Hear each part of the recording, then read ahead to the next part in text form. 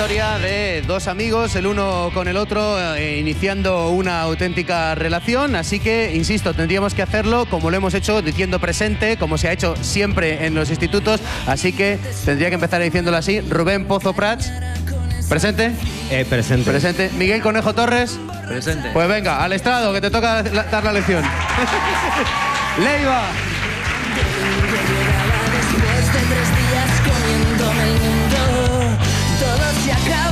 Hay que decir que esto está basado en, eh, en hechos reales, pero también ficticios, porque vosotros os sacáis cinco... ¿Cuántos, saca- cuántos años os sacáis? Cinco añitos, igual. Cinco años. O sea, que esto no pasó. O sea, no, nadie, nadie quintupitió para, para que estuvierais los dos uno con el otro, ¿no? Yo me le quedé cojo. cerca, pero me quedé en tres. ah, tú tripitiste. Bueno, ya está. Casi, casi, casi lo, casi lo teníamos. Eh, en el momento en el cual vosotros estáis ahora mismo otra vez sentados en, en el instituto, eh, Miguel, creo que esta historia, la, la que tiene que ver contigo también con la música, tiene que ver con ese gimnasio que hemos dicho todo el rato y de ver a Buenas noches Rose ahí, ¿no? Sí, bueno, eh, un recinto que había aquí donde hacíamos gimnasia y em, organizaban conciertos que luego posteriormente yo participé, pero antes eran los conciertos de los ídolos del instituto, ¿no? Y yo era muy chiquitín y tuve la oportunidad de meterme un día, nada, cuando estaba jugando a la pelota y estaba tocando eh, Rubén con su banda que eran Buenas noches Rose, que para nosotros era, pues no sé, como los grandes, ¿no? Como Aerosmith. y y- y ese- hubo un momento ahí, ¿recordáis el momento en el cual uno le entra al otro? Ahí como, No, no, ¿qué yo era pasa? muy pequeño, yo a lo mejor tendría 10 años o por ahí, Rubén estaba tocando en el gimnasio, no, nosotros nos conocimos ya posteriormente porque Rubén era amigo de mi hermano mayor y nos conocimos en los locales, pero ya, ya teniendo el Rubén por lo menos 20 y pico, yo teniendo 16 o 17. Claro, eh, Rubén, tú salías de Buenas noches Rose eh, y de repente pues estabais ahí haciendo grupos de versiones y todo eso, ¿no? ¿O qué estabais haciendo?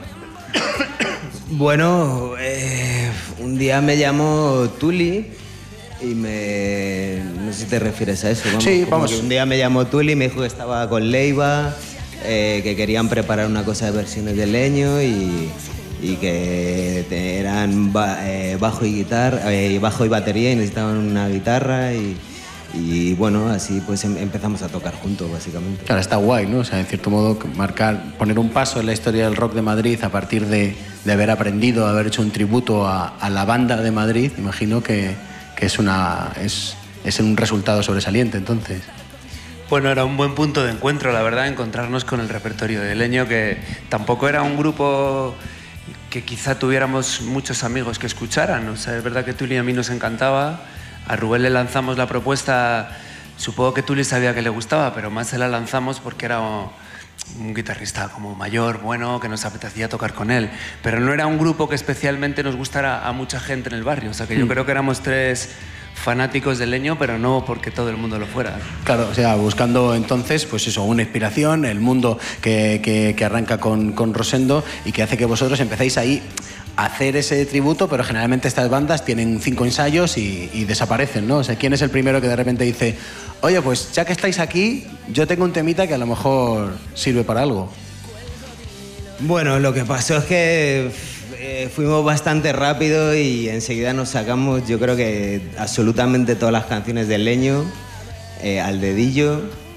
Y hicimos un concierto en el Siroco, que era para lo que nos habíamos juntado, porque allí hacían conciertos eh, como tributos a bandas y tal, y hubo una noche en leño y tal. Y ya después de eso, pues habíamos congeniado bien, nos los pasábamos muy bien tocando y, y bueno, y, y por mi parte, pues Buena Noche Rose se acababa, se acababa y tal. Y, y un día, pues ahí tímidamente en el local, pues tengo una canción que se llama Pereza y tal. Y la empezamos a tocar y, y luego otra canción y, al final montamos la banda. Y se empieza a montar un, un proyecto que es vuestra vida. No sé si cuando vosotros estabais en estas mesas, eh, cuando las pisabais o cuando pasabais por aquí alguna vez, eh, pensabais eh, que, que os podíais dedicar a la música. Bueno, no, nunca lo pensaba. Bueno, yo, yo nunca lo pensé. Supongo que eso se fue dando, pero es que uno no empieza en la música para, para dedicarse a la música. Uno empieza en la música para, para divertirse, para tocar, para hacer canciones, para juntarse con gente. Y luego hay una consecuencia que no siempre ocurre, que es casi milagrosa, que es vivir de la música. Pero no sé, no, no, lo, pen- no lo pensábamos, nos juntábamos para tocar sin mayor pretensión que tocar. Claro. ¿Quién era vuestro, cuando erais pequeños o cuando estabais eh, en el instituto, teníais un ídolo, fuera músico o no, alguien que dijerais, hostia, yo, a mí me molaría hacer algo como este?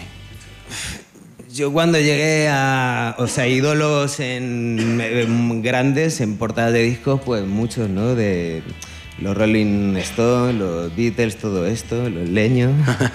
Pero realmente el, el primer ídolo de carne y hueso delante de mí que conocí es cuando yo con 15 años llegué a segundo de BUP y había ahí un repetidor que se llamaba Alfredo Fernández, Alfa. Y de repente yo era un pimpín ahí con jersey, con pelito corto y, y me encuentro un tío con greñas, fumando ducados, eh, compulsivamente, pantalones pitillos, que tocaba la guitarra también, y, y- pero como yo, ¿no? Pero que eh, se hacía sus canciones. Y, y para mí como mi, mi primer ídolo de carne y hueso, decir, joder, cómo las te- quiero ser como este pavo, ¿no? Fue con Alfa, la verdad. Claro, ese fue el primer ídolo que, por cierto, no puede estar en el día de hoy, creo que lo puedo decir porque tiene que cuidar a su mamá, que me parece el mejor argumento que puede tener uno para no poder venir a una fiesta. Así que, Alfa, desde aquí este aplauso. ¿Y el tuyo, Miguel? Bueno, nosotros eh, recuerdo que mm, por aquella época tú y yo estábamos muy obsesionados con la figura de, de- de Rosendo, tanto de Leño como él en solitario. Era un, un tipo que representaba muchas cosas que nos, que nos gustaban, ¿no? que nos seducían. Era un tipo con un discurso de barrio encantador, que había formado parte de una banda mítica y seguía haciendo sus discos un poco al margen de, de las modas. Era un tipo que nos, no sé, nos interesaba muchísimo, muy de chavales. Y Eso, ahora también. claro, ¿eh? claro, ahí sigue el eh, incombustible Rosendo. Mm, con respecto a haber salido del instituto, ese trabajo que hay desde que sales del instituto o lo dejas y, y empiezas a, a- a ganarte la vida de la música, eh, un, dos, tres, respondo otra vez. ¿Cuántos curros habéis tenido? ¿Cuáles han sido los curros más diversos que habéis tenido? Que no sean de músico. Bueno, eh, yo pillé a Rubén trabajando pintando carreteras. Yo trabajaba de jardinero en un, en un, en- en un chalet ahí en Conde Orgaz.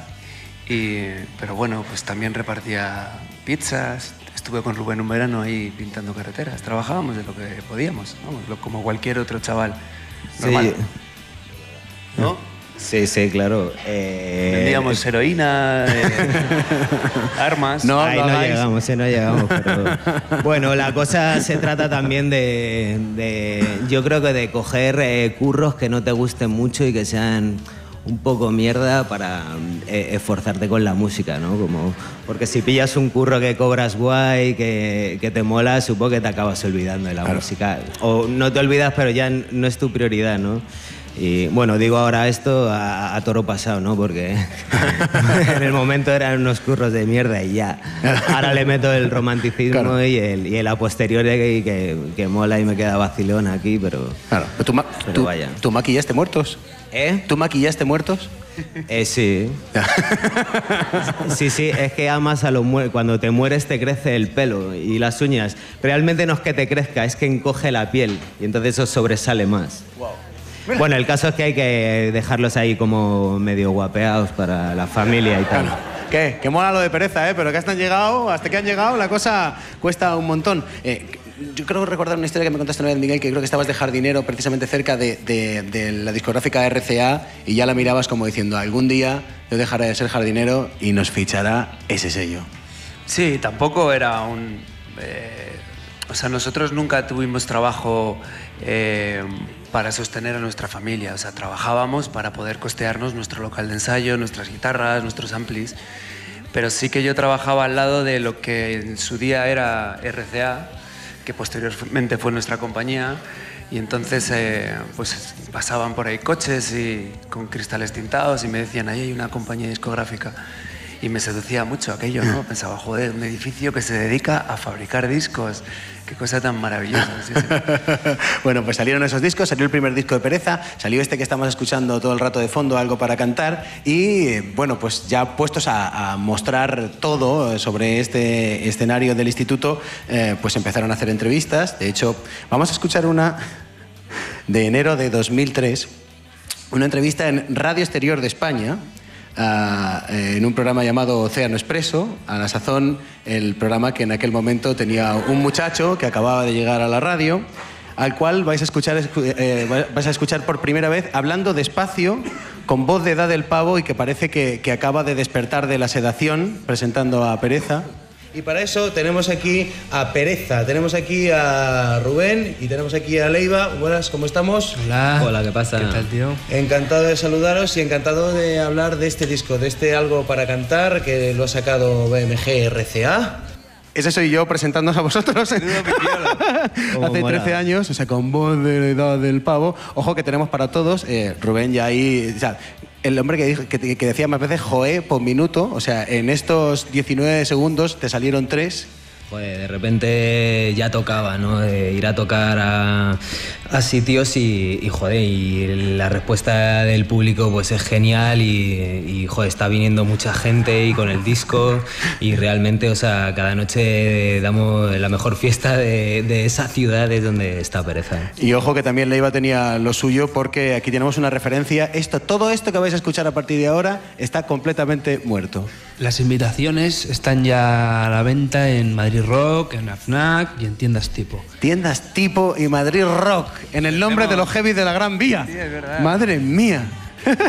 bueno, todo fue saliendo, ¿no? O sea, que el sueño se hace realidad y, y la historia de, de Pereza empieza a funcionar. ¿Tenéis un momento en la cabeza en el cual decís, ya ha pasado? O sea, sois portada de las con Guti, uno a cada lado. ¿O ¿Cuál es el momento en el cual dijisteis, joder, ya no tengo que buscar otro curro, ya a partir de ahora voy a ver si tiro de esto?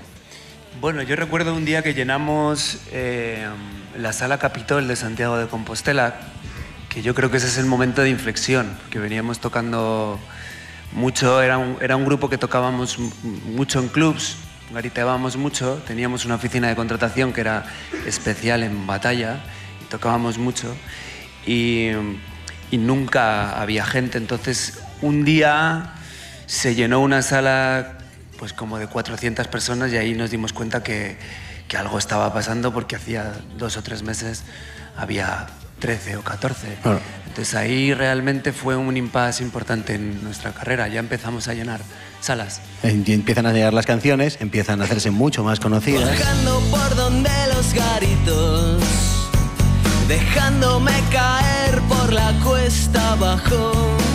He estado tan solito hasta que te he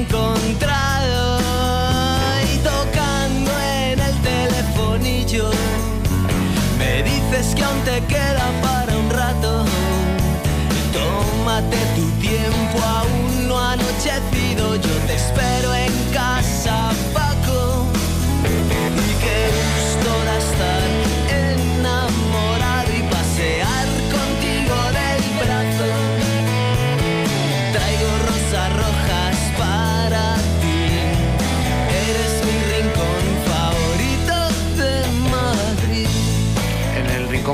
estaba el instituto también. En esta canción no estaba, ¿no? Porque ya, ya estabas como deambulando por otros barrios. Cuando compusiste esta canción, no sé cuánto de Alameda había en, en esta canción. Yo no, viene por una chica que vivía en el centro y yo siendo un tipo así muy de barrio que había salido poco de aquí, de repente empecé como... ha- Habla un poco de eso, de, de empezar a salir del barrio y de empezar a flipar con, con el centro de tu ciudad y enamorarte de, de una persona y asociarla a una ciudad. Claro, bueno, pues vosotros sí que abandonasteis el barrio, la ciudad y empezasteis a recorrer todo el país constantemente. Llega el disco Animales, ese momento en el que se vuelve todo frenético. Animales, los amigos de los animales, el DVD Barcelona, aproximaciones. ¿Qué pasa en esos tres años en los cuales habéis estado a machaca todo el rato tocando para 12, para 13, para 15? De repente la cosa funciona y es un. Es ese frenético momento en el cual uno no sé si se da cuenta de todo lo que está pasando en ese momento.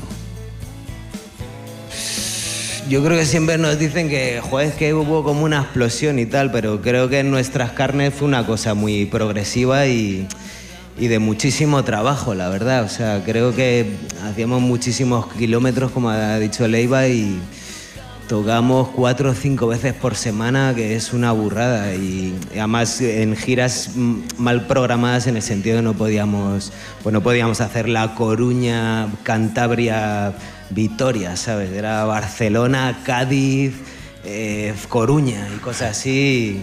Y yo lo recuerdo como, como mucho trabajo y mucha, muy- muy- mucha carretera. Miguel.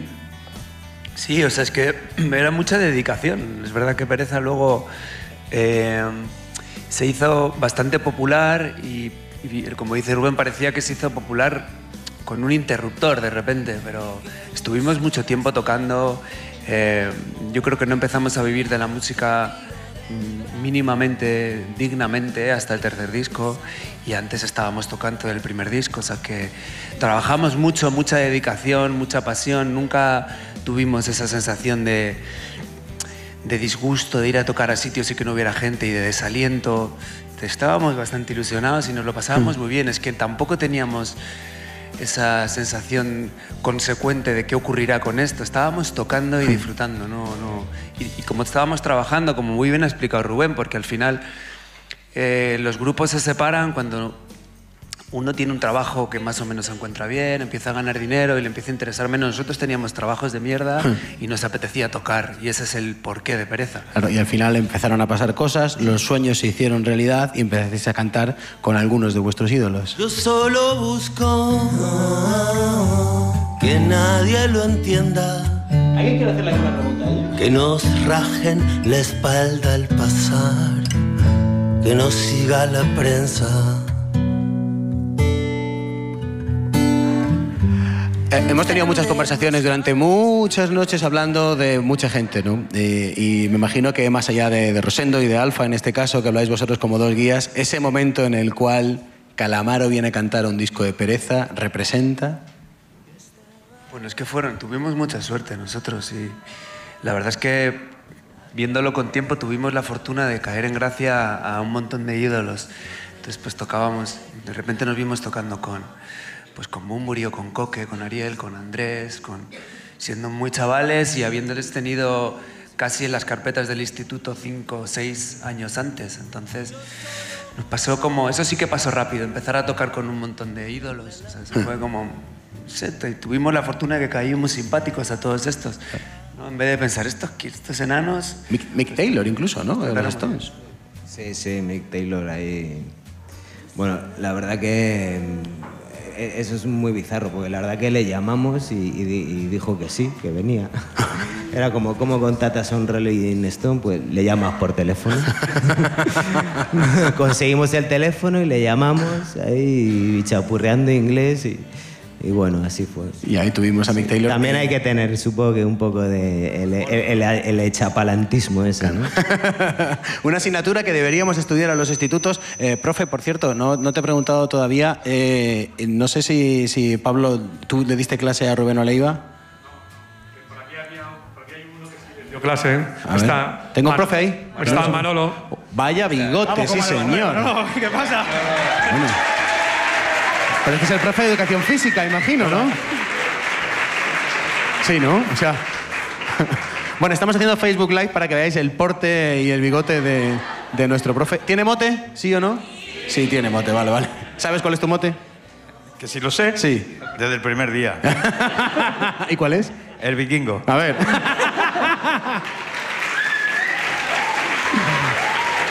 Por la complexión de huesos que veo aquí, no sé qué tal serían de alumnos estos. Pues, chicos, no, no, no lo vais a creer, pero estoy toda la mañana emocionadísimo. Desde que he empezado a las 7 de la mañana escuchando la radio y hablando las- los chicos de, de la Alameda. Yo estaba aquí 30 años de profe y evidentemente a estos dos sinvergüenzas, claro que les di clase. Y lo que más recuerdo de Miguel es que venía, ¡eh, profe, Manolo! ¿Otra vez el tren de Cooper? ¡Joder! ¡Joder!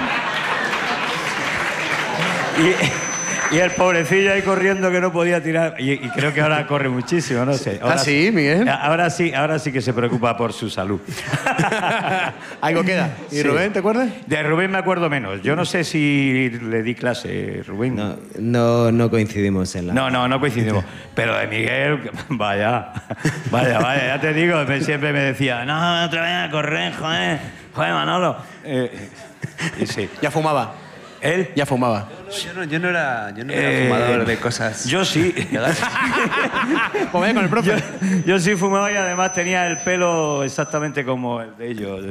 Yo era también heavy en aquel entonces. Era un mítico, vikingo. O sea, Manolo de Vikingo era un mítico, era el gran mítico. Bueno, Vikingo, muchísimas gracias. Vale, Antes de, gracias a vosotros. de rematar. pues, si queréis aprobar, podéis hacerle un aplauso, un aplauso al profe, que no hay ningún problema. ¿eh? Gracias. ¿Por qué se acaba pereza? ¿Qué es lo que pasa para decir "Pff, que esto hay que continuar? Supongo que lo, más difícil es que, es que pase lo que le pasa a U2, que llevan toda la vida juntos. ¿Qué es lo que pasa en el mundo de, pereza para decir, bueno, pues venga, pues continuamos cada uno por su lado? Desgaste, supongo, ¿no?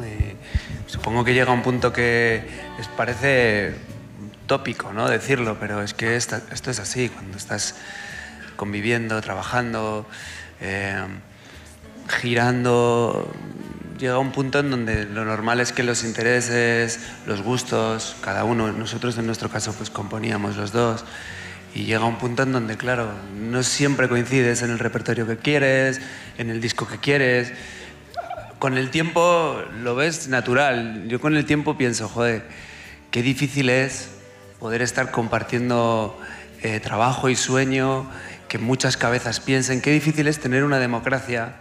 En- veo lo de Vetusta Morla, que son cinco cabezas pensantes o seis, claro, va pasando el tiempo, vas viviendo experiencias, conoces a una persona que te cambia la vida o música que te cambia la vida.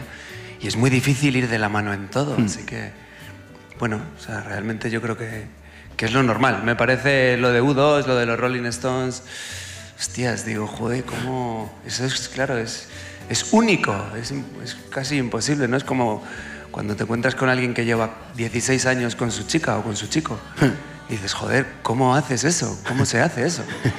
Rubén. Es parecido, ¿no? Sí, yo qué sé. En la trastienda de las bandas, pues hay, hay cosas que, que no tiene por qué saber la gente y, y yo qué sé, pues por ejemplo, ya que se habla de Rolling Stone, pues eh, pf, un día se le escapó a Keith que hace 20 años que no entra en el camerino de Mick Jagger, ¿sabes? Eh, y U2, pues, y Metallica, esta gente que lleva toda la vida juntos y viajan cada uno con un psicólogo y... Entonces, yo qué sé, pues siguen juntos, pero como con cada uno cuatro psicólogos en la gira detrás. Y entonces dices, joder, mola, pero es, es natural esto. Yo- igual lo natural es lo nuestro, ¿no? Que, Tenemos que haber invertido en, en psicólogos, Sí. psiquiatras. sí, en psiquiatras... me- En psiquiatras. Bueno, En psiquiatras buenos. Habíamos prometido que la historia acababa en el Palacio de los Deportes y así fue, ¿no? O sea, Pereza tocó en las ventas y tocó en el Palacio de los Deportes. ¿Tenéis algún flash todavía de, de aquel momento? Pues que es dif- esos días son muy locos, ¿verdad? Luego cuesta retenerlos en la memoria. Yo me acuerdo de cosas, pero, pero pocas. Recuerdo que un día les dije a Tuli y a Rubén que si, que si tocábamos en las ventas, dormiría con los soportes de, de plato de una batería, con todos los hierros. Tocamos en las ventas y luego no, no dormí, no dormí con eso. Ahí es cuando necesité Ahí es cuando mi no primer sé- psicólogo. claro, claro. Falló a su palabra. y a mí me, dicho me que- defraudó muchísimo que no durmiera con los herrajes de la batería. que no cumplí, no cumplí. bueno, en la historia habíamos dicho que acababa aquí, pero habíamos llegado al Palacio de los Deportes, pero la historia continúa, porque Rubén y Leiva terminaron con pereza, llevan sus carreras en solitario, bien las conocéis, pero después llegó el turno de Sidecars. Así que, por favor, Juancho, Herbas, que se vengan para acá.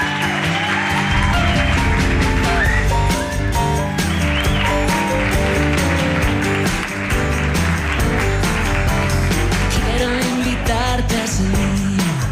Cenaremos en un sitio caro, luego puedo hacerte reír.